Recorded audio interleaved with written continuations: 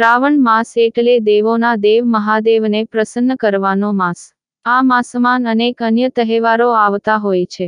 તેમાંથી શ્રાવણ વદ સાતમ એટલે માતા શીતળાનો દિવસ.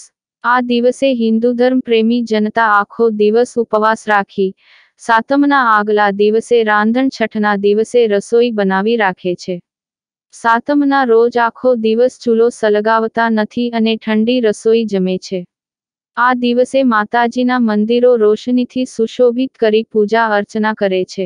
મહિલાઓ સહિત નાના મોટા સૌ માતાજીના દર્શન કરી ધન્યતા અનુભવે છે. આખા વર્ષ દરમિયાન જન્મતા બાળકોને આ દિવસે કંકુ રોળી રાખેલ બાધાઓ પૂર્ણ કરે છે. નાના બાળકોને શીતળા ઓરવા જેવી અન્ય માનતાઓ રાખે છે જે આ દિવસે પૂર્ણ કરે છે. ખેડબ્રહ્મા સહિત વડાલીના સગરવાસમાં આવેલ શીતળા માતાજીના નીજ મંદિરની મૂર્તિઓને રંગબેરંગી ફૂલોથી સુશોભિત કરી હતી. જેમાં માતાજીનો સાક્ષાત્કાર થતો હતો અને તેમનું સુંદર મુખ, મનોહર છબી જોઈ મન પ્રફુલ્લિત થઈ જતું હતું. જાણે કે આશીર્વાદ આપતા હોય તેવી અનુભૂતિ થતી હતી. નીજ મંદિરમાં માઈ ભક્તોનો મોટો ઘસારો જોવા મળ્યો હતો.